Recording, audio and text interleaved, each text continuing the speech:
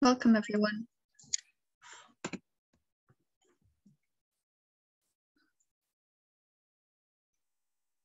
We'll wait a few minutes for everyone to turn up.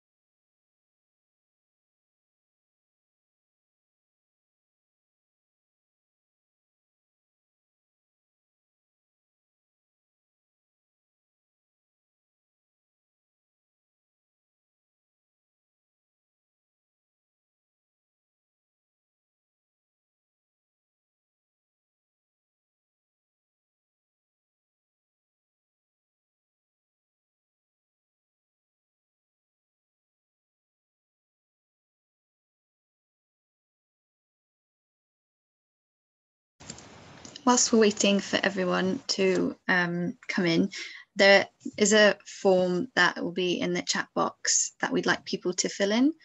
Um, so if we could do that before the beginning of the session, that'd be fantastic. Thank you.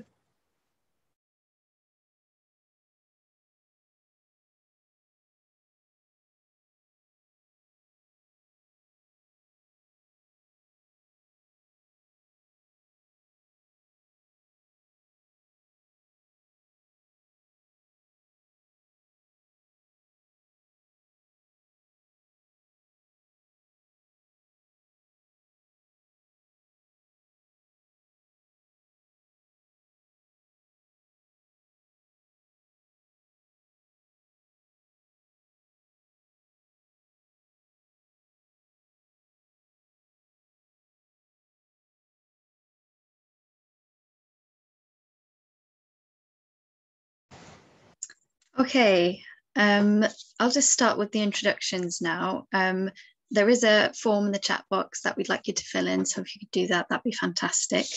Um, welcome everyone um, to our Decolonising Climate Advocacy Workshop, um, which is organised as part of Weaving Hopes for the Future project, and that's a collaboration between three organisations um, in Malaysia and the UK. Um, I'm Veronica. I'm a final year medical student in the UK and I'm currently involved with Students for Global Health and Weaving Hopes. Um, and I'll just run through how today's workshop will run quickly. Um, we'll have a short introduction about the project from uh, Nadia, the coordinator, um, followed by um, the speaker, and we'll be discussing how climate advocacy um, is colonized and what are the impacts, how we can tackle this and raise the voices of the global south, and as well as how the global north can support this in a healthy manner. Um, and at the end, we'll have a Q&A session. So if you have any questions during the session, just pop them in the uh, chat box. We're expecting the session to be around an hour and it is being recorded. Um, so it, and it will be uploaded onto YouTube. So if you don't want to be shown either your face or your name, um, please turn off your cameras um, and change your name if you, if you wish. Um, so without further ado, I'll um, get Nadia to introduce the Weaving Hopes for the Future project now. Hello, hi, good evening, everyone. Thank you so much for making time. Uh, for friends in the UK, it's uh, slightly after lunch, and in Malaysia, uh, it's almost uh, time to sleep, but to enjoy. But that's why I'm really thankful that everyone's making time um, to to to come and and to you know learn a little bit about what decolonizing climate advocacy means. Okay, um, I think I would like to share my screen, um, just a little bit like some few minutes on uh, what Weaving Hopes is actually. Um, give me a second so I can click present. I hope everyone can see this uh, clearly. Um, any, uh, is it is it clear? Yeah, oh, visible. All right, awesome, awesome. Mm -hmm. Right. Um, so uh, Weaving Hopes. Weaving Hopes is actually a project um, that is um, um, being led uh, together by three different groups. We have uh, Gerimis Art Project, uh, we also have uh, Klima Action Malaysia and also uh, our UK partner, uh, Students for Global Health UK in climate uh, in climate change, if I'm not mistaken, the whole name. and um, so the project is based on four different pillars on education, activism, creative art, and empowerment. It's basically a project to empower Indigenous uh, women and youth. Uh, we want to create the kind of space where they can participate in climate action or in climate decision making locally and, and internationally in a meaningful way. So this is the first step. Uh, this is actually the first ever project uh, of, its, of its kind to increase the participation of Indigenous people in Malaysia on climate change, eh, climate action, sorry. Um, yes, so uh, one of the outcomes of the project is that we will um, uh, exhibit, sorry, I keep seeing this video panel screen. All right, we will be exhibiting art installation and creative storytelling co-produced by 11 indigenous women and youth. So basically what they do is through their learning, um, to the workshops that we've been doing together for the past, I don't know, like more than five months already, and they will, uh, for example, one of the groups, they will um, collect and document uh, the kind of impacts uh, of um, uh, climate impacts, how, how impacts their community. And it's going to be uh, relayed to everyone in the form of uh, creative storytelling. And same goes with the art installation. It's going to be told by, um, it's going to be made by communities in, in the Temuan communities in Sungai Buloh yeah. On right. So um, the exhibition tries to eliminate linkages between climate change and land rights. And by this it will enable a knowledge uh, enable knowledge exchange in decision making spaces. So these are all the the photos of faces of uh, our indigenous team. Right. And also we would like to influence the public perception on indigenous plight how the global community are tied to these struggles and how Indigenous empowerment is a key for climate solutions. So this is actually a photo of them in HSKLU. Uh, they, they came uh, for a workshop together with us and uh, we brought them to the village. So they spoke to the um, villages. Right. So um, we are also uh, are we are also collecting, uh, raising some funds um, to help on the logistical side of uh, bringing the items to Glasgow.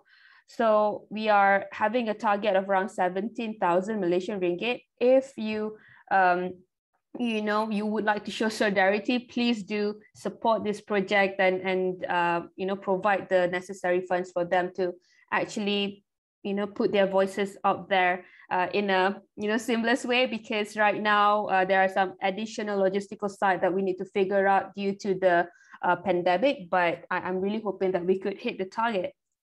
Right. And um, this is also one of the things uh, one of the um, part of the campaign is that we would like people to you know meaningfully participate in this action together with us so if you donate um, minimum a minimum of 10 pounds or 50 ringgit, you will get this weaving digital toolkit.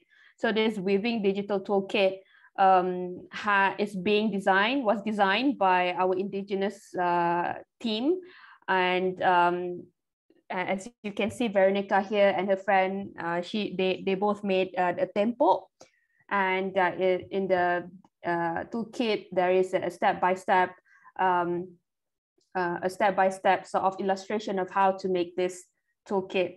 So it's really, really interesting. And you would have a chance to, to have your uh, tempo to be sent to the UK and, and be, um, uh, be presented together with the main exhibition and the art installation itself. So yeah, it's quite cool. And we already have like some few people already trying it out. And so these are some of the things that we want to have it um, where, where the money is going to go to and um, yeah, your solidarity is absolutely important because we think that weaving is a process of combining, um, connecting, you know, one material to the other to form a strong structure. This is not what we think. This is this is essentially what it meant. But in a way, um, this is what the indigenous girls told us. Uh, told us like weaving in a sense it, we, it connects all of us and allows us to reach out to others and build partnerships for a better future so it was a really nice touch a really nice thought from them. Yeah and currently um, we already managed to get around 7143 around 60 donors. Um, so this is where we are. We need around you know circa 10,000 Malaysian ringgit. That is uh, around a thousand plus uh, uh, pounds. And one of our members are, uh, she's shaving her head off uh, to, to raise funds for this project. So it's absolutely crazy, but everyone is really, you know, trying their best to, to support the indigenous uh, women and youth because this is their first ever sort of, um, um, you know, participation in such spaces. So if you need more information, you can always ask me later on after the webinar. You can always ask me. You can go to uh, SFGH uh, Twitter, Instagram, uh, Facebook. Same goes with Klima Action Malaysia and Gerimis Art Project as well. So thank you so much uh, for having me and uh, listening to my TED Talk. Uh, I'll just end the screen sharing now. Thank you. Great. Thank you, Nadia, for that um, great introduction to the project. And I would urge you as the audience to have a look at that link and perhaps donate a few spare um, monies, especially the British, the British um, joining on us today because the British pound can go a long way, guys. Okay, now I'll quickly introduce the incredible speaker we have today. Um, Dr. Renzo Guinto is um, a physician involved in public and planetary health. And um, he's involved with decolonizing um, the field of global health in particular. He served as a consultant to many organizations, including the World Health Organization, and holds professor and research positions in many universities across the world. He's lectured in nearly 50 countries and published more than 100 art articles and books and produced short films that communicate planetary healing to the world. Um, and after that fantastic um, introduction, I think I'll pass over to you, Dr. Guinto. I can't wait.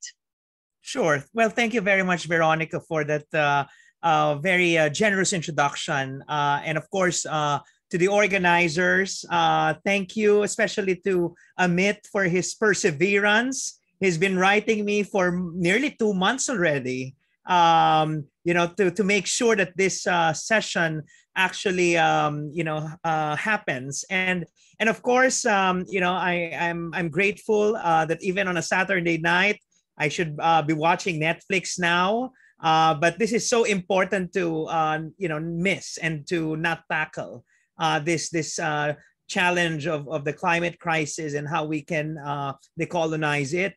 Um, and so I'm really grateful for this opportunity.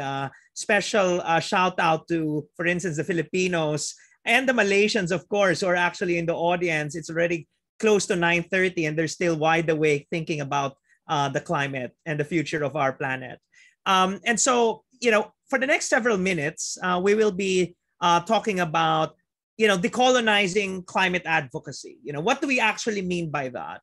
Um, and you know, as you as you can see in this uh, slide, you know, I have several affiliations. Veronica already alluded to it. Um, I have my organization, PH Lab, which tries to really look for uh, and, and create innovations in the area of planetary health. Um, I am the inaugural director of the new planetary and global health program at the St. Luke's Medical Center College of Medicine here in the Philippines. But there's also another hat that uh, I actually want to share with you, especially because we have a Malaysian audience here. Uh, beginning uh, October, I'll be splitting my time between Malaysia and Kuala Lumpur uh, because we are launching a new uh, center for planetary health, the Sunway Center for Planetary Health. It will be hosted by Sunway University, one of the um, uh, rising universities in Malaysia and in Southeast Asia.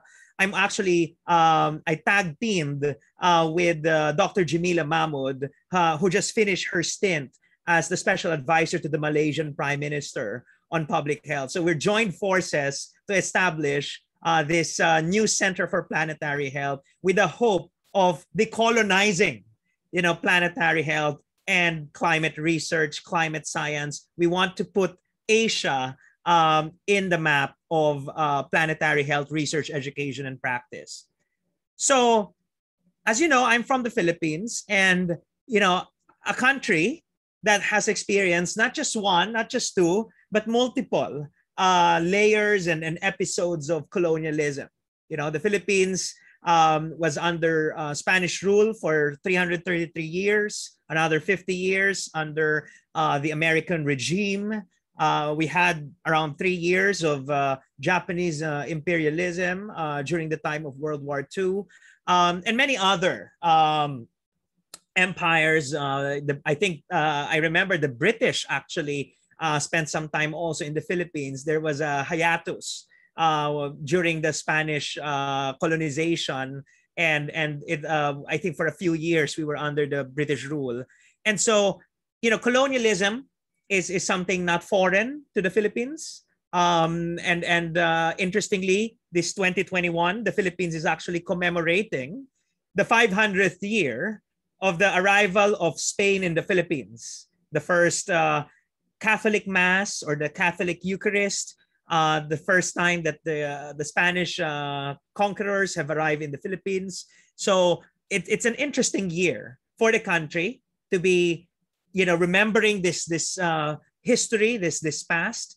while we're also tackling a very historic uh, covid-19 pandemic but also bracing ourselves for the long-term uh, historic um, you know episode or period of, of a more climate unstable future um, and that's what we're trying to prevent here uh, with um, you know through climate advocacy um, I'm sure you've been seeing in social media, you know, this this uh, growing interest around, you know, decolonizing, you know, basically everything.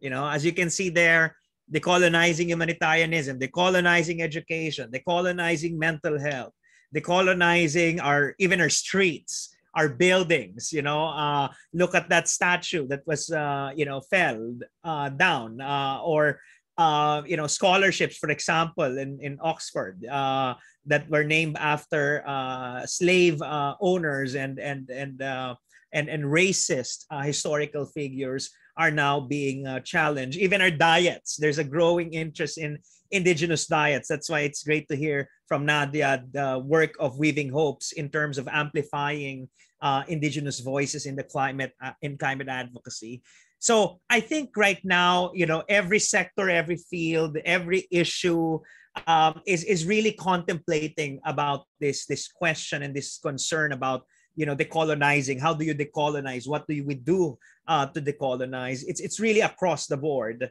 um, and and uh, it's it's just interesting, exciting. Uh, to see what will happen in the coming years. I think COVID 19 also opened this window uh, for all these sectors to really have this deep, deep reflection uh, and interrogate some of our long-standing, you know, quote unquote coloniality or colonial practices uh, and legacies. Um, I was already introduced a while ago as, as someone from the field of public health. I'm a physician by training.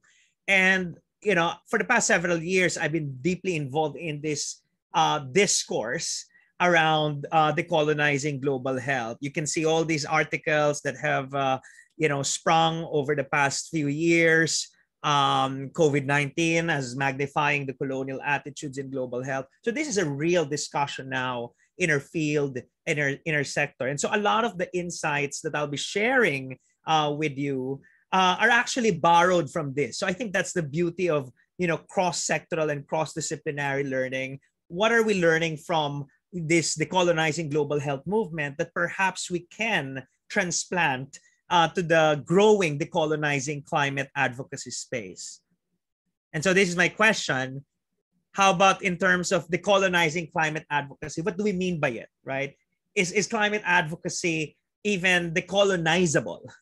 um, and, and when we think about decolonizing climate advocacy, is it just about amplifying global South voices? I heard a while ago that you know one of the objectives of weaving hopes is really to to again amplify uh, global south voices and having the global north uh, allies and and advocates to be uh, supporters and and to be again critical allies but but but what i will be telling you uh, in a short while is it's more than ensuring that there's diversity uh, in the climate advocacy space. And, and they're really uh, deep-seated uh, issues that we need to tackle if we need to decolonize climate advocacy on, on a grand scale. So um, definition of terms, you might be wondering, what do we actually mean by decolonizing? And, and actually what's confusing is that decolonize is the verb, right? But there are two nouns that are, um, you know, derivatives of that ver verb. So one is decolonization, which is the undoing of colonialism. You know, it's the end of the period of territorial domination of lands. You know, if a, when a conqueror or or uh, an imperial uh, a country uh, already leaves uh, the uh, colony, then that is the act of decolonization a largely political and historical process. So, you know, the Philippines has been uh, already decolonized. You know, if again we use the definition of decolonization, um, more than 50 to 70 years ago, you know, when the Americans, for instance, already left the country. Uh, but the question is, um, yes, the colonization has already happened. The countries have already been liberated from their colonizers. But how about the mentality the the culture you know the behavior the language you know the, the mental models the governance structures? Um you know are, are they also being emancipated from these colonial legacies? And that's why there's a second term which is the coloniality or the colonialism so it's possible that a country has already underwent uh, uh, or undergone decolonization but there's still so much coloniality in the way society operates. And the colonialism or the coloniality, uh, which has been pioneered by Latin American scholars, uh, have been described or has been described as the untangling of the production of knowledge, which is primarily Eurocentric or Western. So it critiques the perceived uh, universality of Western knowledge and the superiority of Western culture. And so there's no doubt that you know, from our governance structures, the way we discuss these issues, climate change, our uh, the global media is, is very Western, and also our universities, uh, the research methods that we use to answer some of the pressing questions of our time are all rooted in the Western tradition. It's not saying that the Western tradition is is wrong and and inapplicable or inappropriate, but uh, there's no doubt that uh, colonialism has ushered the domination or the even the hegemony of Western culture, Western science, Western uh, knowledge production systems, and has uh, put on uh, put on the margins other forms of knowledge production. For instance, some of our knowledge systems here in Asia or in Africa, indigenous knowledge systems, for instance. And then maybe you've heard of this other term, post-colonialism, which is always, you know, uh, um, you know mentioned when we discuss about the decolon decolonizing um, you know a particular sector. But post-colonialism is really interested in what happened after the colonial uh, period. You know what are the legacies? What are the remnants uh, what are the human consequences of exploitation of the colonized people and their lands? And so it's not necessarily um, you know uh, attacking or, or, or interrogating or, or even uh, advocating for um, you know the uh, untangling of Western knowledge production production systems, but it's interested more in understanding what happened uh, again post uh, liberation or post colonialism. But obviously, there are strong uh, links and overlaps uh, between the two, and even between the three concepts. So I just want to put this out there so that we all know, um, you know, what are the differences between these terms. So now for the next few slides, I will be giving some of my thoughts. So I should have given as a caveat as well that I'm not a decolonial or post-colonial scholar. As, I, as I've said, I'm a physician with a public health background who's advocating adamantly and, and, and passionately uh, for the decolonization of public health, of global health, of planetary health, of the climate, of, of a climate discourse. So, so I'm not a historian, I'm not a, an anthropologist, but there's so much that we can draw from the social sciences if we want to be advocates for the decolonization of climate advocacy. So one way, uh, you know, one thing that needs to be de- to, to, to decolonize, that needs to be decolonized, is first and foremost our relationship with the planet. Obviously, and, and I think the simplest way of looking at climate change is it's the most, um, I guess, scandalous manifestation of human colonialism over nature. We've already we've treated the Earth as if uh, it doesn't have planetary boundaries, limits. Um, we've extracted whatever we can. We've not just extracted them, we've burned them, you know, fossil fuels.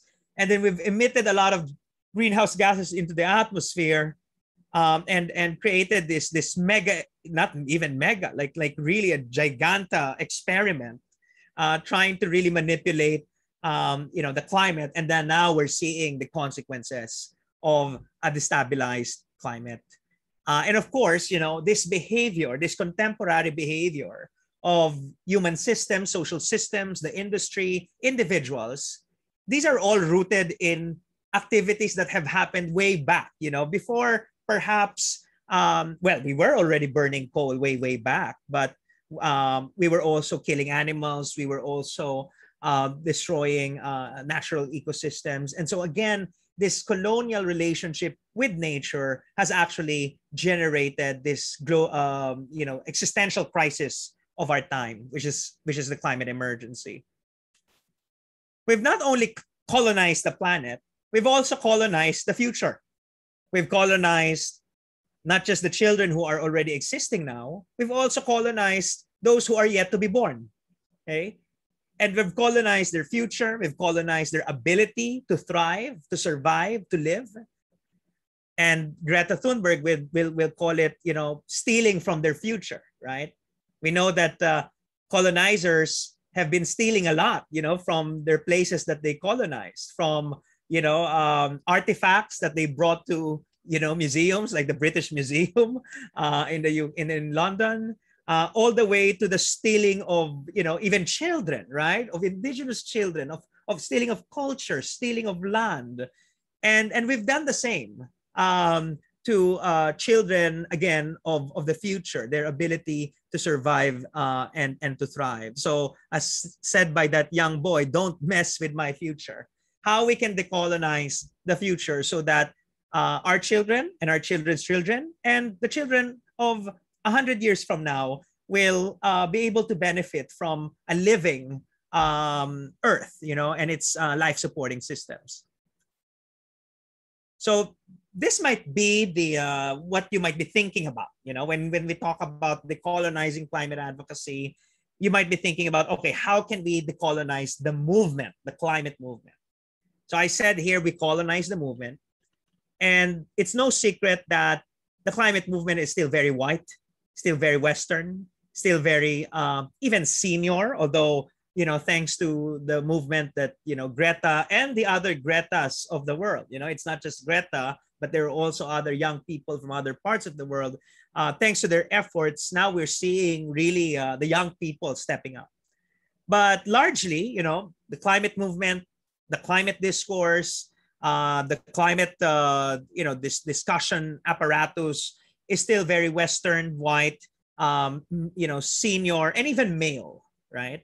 And so, you know, we need to, um, you know, start really uh, dismantling this this colonial uh, features of our own movement, and to make sure that uh, you know more voices are heard, uh, especially people who uh, the indigenous communities. The sad thing is, we only invite the indigenous uh, representatives during COP to give a speech, right? And sometimes it become or oftentimes even it becomes more uh, more of like a tokenism right? Rather than an actual uh, deep and meaningful and sustained engagement. And so i really appreciate what again you know uh, i've said it many times what um, your organization is is doing uh, to amplify indigenous voices. Um, we've not only colonized the, the, the movement we've also colonized the science okay We've colonized the climate science. There's no that there's no doubt climate science improve our understanding of our global climate and its myriad consequences on human health, on society, on ecosystems. But unfortunately, uh, science itself um, is problematic one because of its lack of diversity. So you might have heard of the uh, hot list of 1,000 top climate scientists that Reuters launched uh, early this year. And in that list, only five were African, and all of them were white African, uh, were white men who live in Africa. And so that's quite problematic when we know that Africa and Asia and Latin America will be bearing the brunt of the climate crisis and its uh, myriad consequences. But the scientists who are um, supposed to provide the answers, to provide scientific advice to these governments, um, are, are, are, are not there or are not recognized and are not included in these, um, you know, elite, even colonial scientific organizations. Um, and of course, the IPCC is the leading climate uh, scientific body. I, I'm pretty sure um, more recently there have been efforts to really, you know, increase their diversity in terms of, you know, both gender and, and geographic diversity and disciplinary diversity. But certainly more can be done, you know, so that we can avoid this, as you can see in this slide, you know, a picture of male uh, IPCC uh, scientists having discussions about the report. Okay. And also, by the way, uh, regarding the uh, decolonizing science, we also need to interrogate the research methods and the scientific paradigms that underpin uh, the evidence. And so it will be great in the if in the future IPCC and the reports uh, will also uh, capture indigenous systems, indigenous research, uh, especially in the area of, for instance, adaptation. Uh, how can communities adapt uh, to climate change and its, myriad impacts, um, and and and uh, gain more knowledge and, and understanding uh, using indigenous research methods, and also those issues confronting indigenous communities and also non-Western communities. I think we've also colonized the negotiations. Okay. We've colonized the negotiations in myriad ways. We know that at the end of the day, uh, in COP COP26, COP25, all these COPs, it's the big countries that are really um, uh, steering the direction of the discussions. I remember in COP15, that picture that you can see, COP15 in Copenhagen, there was even a closed door meeting between the rich countries and China. And all the rest of the countries were left out of the discussions. And then they just came out of the, the room and they announced there's already a, a Copenhagen, um, you know, communique, something like that. And, and, you know, the Climate Vulnerable Forum, for instance, which is the uh, group of all the most uh, vulnerable countries in the world, were not even given um, the opportunity to, to contribute. And of course, I'm sure that's not an isolated case. That has been happening throughout the past 25 COPs, right? And so, you know, we need to start also questioning, you know, the diversity and and representation and meaningful participation of uh, you know marginalized groups of poorer countries in the negotiations. Because that is important to make sure that the outputs the outcomes of the negotiations are truly uh, you know universally acceptable and um, responsive to the needs not of some people but of all. So for instance as we know we don't we still don't have uh, strong international legal instruments for uh, climate induced migration climate migrants and of course the big countries will not really think about it at least not yet because they might be thinking this is more of an issue for the pacific islands and the poorer countries that will be suffering from sea level rise and other extreme weather events. And so we need to make sure that you know there's representation, meaningful, equal, and inclusive representation, so that the issues confronted by the different communities of the world are also reflected in the outputs, the outcomes of the negotiation. I think we also colonize the solutions. Right now, um, our solution to climate change is to adopt low carbon technologies, whether in terms of energy, transport. Okay, let us call for uh, the reduction of meat consumption, even if we know that there are significant parts of the world who are poor and undernourished and do not even have access to adequate amounts of, of meat, while other places are over consuming meat. Okay. And, um, you know, we're, we're introducing and we're um, uh, promoting, you know, again, green technologies, uh, calling for more technology transfer transfer from rich to poor countries without really tackling the roots of the climate crisis, which is overconsumption, unsustainable consumption, and also making sure that our prescriptions or solutions are equitable, meaning considering um, you know the, the demands and the needs, especially of the poor countries. Um, and so I can see a lot of greenwashing here. The big transnational corporations are also uh, using um, you know the climate crisis to uh, enhance their um, you know credibility and their image without real uh, and uh, and substantial and lasting changes. For example, in the political economy that underpins the climate crisis. So we're all focusing on the uh, symptoms and not on the uh, true etiology or the root cause of disease. And we're also resorting to, let's say, you know, the, the cures and, and the short-term cures rather than coming up with what I would call a planetary vaccine, which is the redesign and the reorientation of the global economy to make it emit less uh, and adapt more. And finally, I think we colonize the victims. They're already victims of the climate crisis, and we're making it much more difficult for them to adapt to uh, the changing times, to the myriad effects of climate change. So as you can see, this is an old uh, map from the WHO. The top map shows to you the parts of the world that have, emitted the greatest amounts of greenhouse gases into the atmosphere. North America, Europe, and more recently China uh, as, as a major emitter. But at the bottom, you will see um, being magnified the parts of the world that will be bearing the brunt of climate change and its health, agriculture, and, and other social consequences. So that's Africa, you know, South Asia.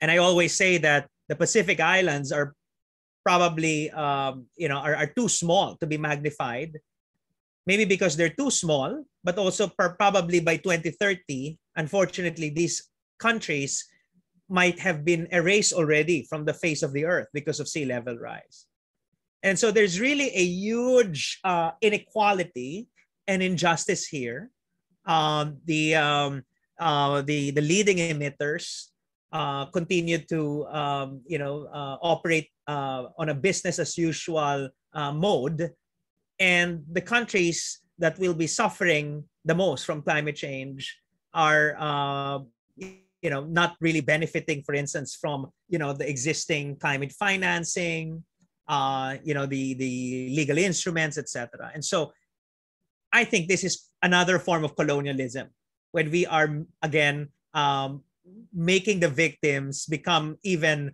you know you know more serious victims as a result of our failed uh, policies and actions. So this is another uh, graph from our world in data showing to you that you know a lot of the countries that have emitted the least amount of greenhouse gases are also poorer countries countries with energy poverty countries with weak health systems countries with very limited adaptive capacity to address the climate crisis. And these are all old colonies as well.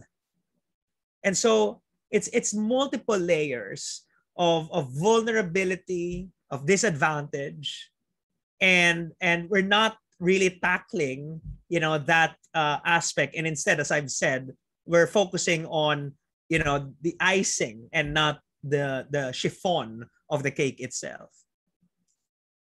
So I'm reaching the end of my talk, and and in my next slides will be more of um, uh, key messages and, and reminders. So so one, I, this is an interesting diagram from uh, Dr. Rupa Marya from the University of California, San Francisco.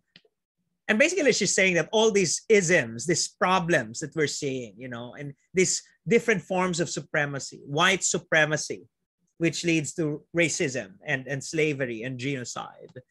You know, male supremacy in other words patriarchy which has which leads to you know uh, sexual discrimination you know uh, discrimination against women and the lgbt and and and other uh, non-conforming uh, uh, you know ident- gender identities and the human supremacy human of, of humanity over nature which she called ecocide here all of these are rooted in this uh, legacy of, of colon, colonization of colonialism and it has very close ties and linkages with capitalism as perhaps the modern day apparatus for uh, the perpetuation of these colonial legacies. And so we need to start looking at all these connected issues and not, you know, in a siloed approach.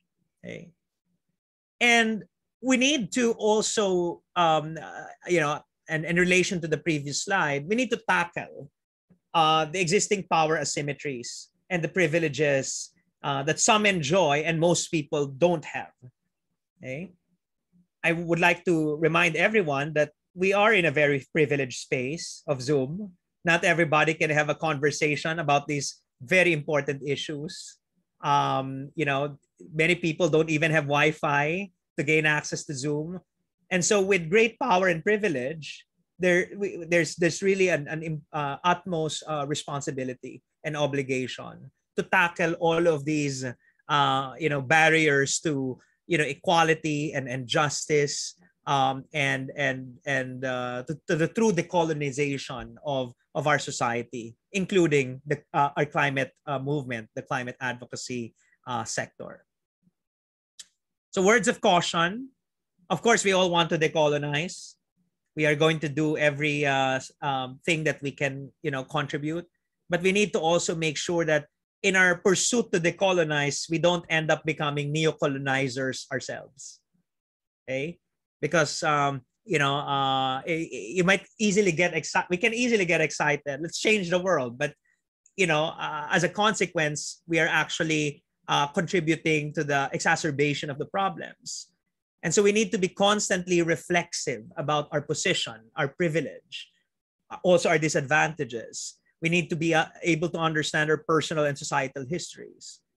We also need moral courage here. It's not easy to be a decolonizer and to shape to, to be the one who is always seen as disruptive. Although you know, climate advocates, climate uh, um, activists are uh, are always seen as that. You know, I've been to COP21 in Paris, and protesters are are, are being um, you know um, uh, even harmed. You know, uh, uh, if if if things become more serious. But but beyond the physical, it requires some form of moral courage to be a decolonizer and to decolonize the climate movement. And of course, we do this with a sense of mission. As I've said a while ago, with great power and privilege comes responsibility. With opportunity comes obligation. So we are, you know, we're this is a conversation that we're having in, in the field of global health. I think we should also adopt this in the climate advocacy realm that, you know, in our pursuit of decolonizing, um, again, we don't end up becoming neo-colonizers. And it's not just, it shouldn't be superficial, you know, that it's, you know, we're just showing or proving our, our wokeness. What we really want is uh, a true dismantling of these power structures uh, that are perpetuating for example, the discourse around the climate, the types of climate solutions that are being uh, propagated, the, the nature of our negotiations, the diversity of our movement and our science, all of these uh, will need to be uh, changed and, and to decolonize. And that's why we need to go beyond the cosmetic. Okay? It's not enough that you know we have you know more people of color, for example, in a committee, or more Asian and African sounding names as part of a petition. We need to make sure that we go beyond, you know, the tip of the iceberg, literally, and and really tackle again the underlying structures and the mental models. You know, what are the mental models that we have in our mind when we deal with issues related to the climate? and that's why um, and and this is just to introduce a, a new concept uh, that came from the health sector you know planetary health is is uh, a powerful concept that that I've been advocating for, that I embraced since the time I, I learned about it. And in planetary health, we don't have anymore just one patient, which is the people. We also have another patient, which is the planet. And planetary health emphasizes this importance of, you know, the pluriversality of knowledge. It's not just universality of Western knowledge. It's the pluriversality, meaning there's so many different knowledge systems where that, that that can enrich, you know, the discourse and also that can help us incubate uh, more lasting and more uh, durable solutions. Um, planetary health also helps us decolonize our relationship with Mother Earth. So I think it's a shift from an ecological perspective. You know, we are at the top of the pyramid of nature.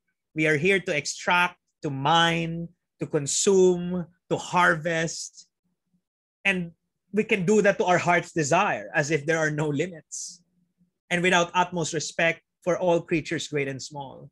So we need to stop this kind of mentality and instead shift to a more ecological approach that is truly holistic, sustainable, you know, in harmony and solidarity uh, with Mother Earth and its other inhabitants, and also uh, its uh, life supporting systems. I already implied on this a while ago. We can't be um, focusing or or being um, uh, or settling, you know, with the stopgap measures and solutions. Oh, let's introduce these green technologies. But truly, we need to renovate or even decolonize the political economy of planetary health. This idea that we can consume endlessly, produce limitlessly, pollute, um, you know, endlessly as well. You know, that has to stop. And instead, we need to shift to another economic mindset and model that safeguards the health of people and the health of the planet as well. And you might be familiar with that uh, diagram. That's a donut economy that was uh, proposed by uh, Kate Raworth, uh, a British economist. Finally, I think, you know, um, as part of our decolonizing uh, not just climate advocacy but but the climate and decolonizing our relationship with the earth. I, a while ago i also said it's about decolonizing our future right? Or decolonizing the future or making sure we don't colonize the future and the ability of our future children to live and thrive. This book is is is what what it's about you know or, or what it's trying to say um, this book, The Good Ancestor, very new book. It's uh, a call to uh, graduate from short-termism and instead shift towards a more long-term thinking, futures thinking approach. Basically, what it's saying is that what we want is the future children of 2121, which is 100 years from now. We look back to the past, we'll read, we'll read the history books, and they will say that the COVID generation of 2021, and that is us, the generation who went to COP26, we're good ancestors to them because we've made the right decisions, not just for ourselves, but also for their health and well being as well. So I think that is another way to really decolonize uh, our future, our relationship with future generations, to become good ancestors to them. And making decisions that don't only benefit us in the in the short term uh, in the present but also benefiting people who will be living hundreds of years from now. So what can we do?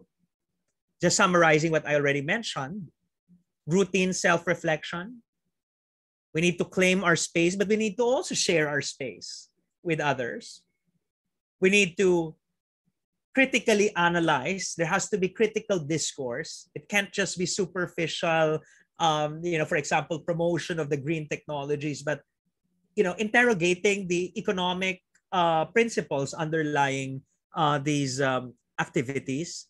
Listen to new alternative voices. Okay, listen to voices from Africa, from Asia, from Latin America, indigenous voices, women voices, voices from the people uh, groups of, of people with disabilities and all the other groups that have been margin, uh, marginalized for for for for a long time. Build global alliances. So I'm really glad that this event is co-organized between the young people of the UK and of, of Malaysia, and we need more uh, young people orga- young people's organizations from different parts of the world to come together. And I'm very aware that we actually have a very vibrant YOUNGO uh, and and you know youth networks uh, in in the climate space. We need to build a culture of mentorship as well, so we can learn from our seniors, and we all can also learn from each other, and and find a mentor, be a mentor, and ultimately we need to tackle the systemic roots of uh, the coloniality of, of our society, you know, not and uh, which which led to the colonial features of the climate, of global health, of science, of global governance, etc.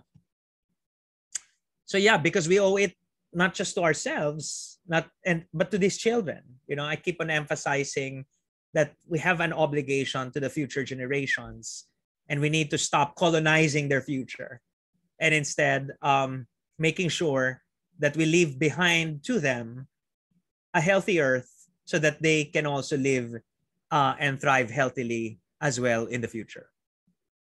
So together, let's advance the health of both people and planet. Thank you very much. And I look forward to your questions and comments. Thank you very much, Dr. Guinto. I think um, I speak for everyone when I say that was really great and uh, insightful. Um, we'll take some uh, questions now. So if you'd like to put anything in the chat box or message me or Amit privately, but don't run off just yet because I have a few comments at the end. Um, uh, I have a question as well that I thought of, um, if you could answer. Um, I was just wondering with COP26 being a very big um, event coming up, it's been, you know, a couple of years since the last one and it's in the UK.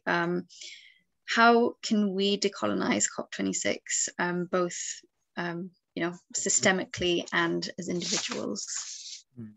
Great question, and you know we only have a few months remaining to think about it and to plan for it. No, I wish, I wish we we we had this conversation last year when you know COP26 was already postponed uh, for a, you know for a year. So you know we we missed some time, but it's never too late. Um, and, and also, we need to acknowledge that this year's COP is actually happening in the UK, okay, um, which is quite uh, well. One, you know, it, it's it's it's a colonial power before. It is still a major, uh, you know, neo-colonial power, you know, in this day and age. Uh, and also, the pandemic is making it much more difficult for young people, for ordinary people to actually go to the UK, for example, and participate even outside. You know, that's the other thing. The whole COP in itself is not necessarily accessible to everyone because, you know, access to the main negotiating table is only limited to key people representing governments. Unfortunately, there are some private actors that are that have the ability to influence the negotiations, even if they don't have the legitimacy of people, uh, because you know they're not voted, they're not governments. So how can we decolonize this upcoming COP and the future COPs? Okay, I think one, um, you know, we need to um, one we ha- one one space that we need to take advantage of is the digital space. Okay, um, I don't know if there are plans to organize a, a kind of a digital parallel COP of the people, right? I think that will be a great idea. And we can have the involvement of as many people as we want, even even millions of people to participate and come up with, you know, uh, our own Paris rule book, because I know that is one of the key outputs of, of the upcoming COP that it, a Paris rule book that is written by the people and for the people. Okay. So I don't know if we have time to come up with something like that to, to galvanize some, with uh, something like that. But you know, for the future COPs, uh, now that we we we have the digital space, we should uh, you know think creatively and come up with these new kinds of engagement uh, that are more inclusive um, and and uh, you know more more representative I think we need to, um, and I'm sure the climate movement is already doing that, and and we need more of this. You, you know, really um, um, uh, you know, questioning uh, the, the the the framing, the key messaging of you know COP26, of the outcomes or the expected outputs and outcomes. The messaging, for example, that is uh, uh, being um, uh, propagated now by, for example, the host country, the UK. Uh, and then we can do that, sure, in the, in the digital platform. We should be writing about, you know, our, our sentiments. We should be, um, uh, you know, writing letters to our leaders and and and also uh, saturating the digital space, Twitter, with with all these kinds of really progressive messages. Again, we already have them even from before, and maybe we need to really um, um, kind of um, uh, boost uh, the advocacy even more.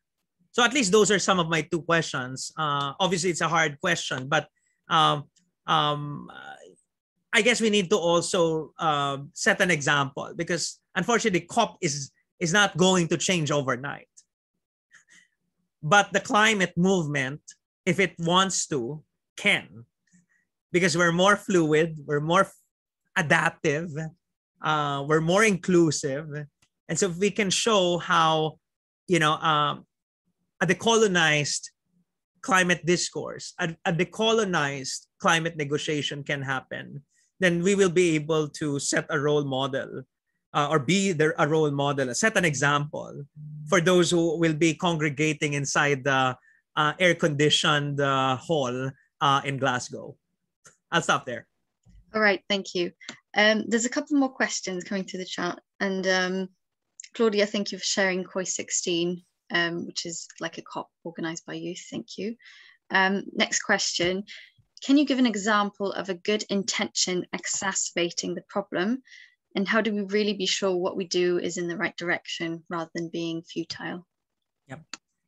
So um i think you know when when people people governments corporates when they say oh we will uh, introduce uh, and, and share you know green technologies uh, to um, you know uh, developing countries for example i think um, the intention is good. We want to transfer technology. We want to support them. So uh, poor, poorer countries to be able to lower their emissions, mitigate, or adapt. You know, if if that's an adaptive solution.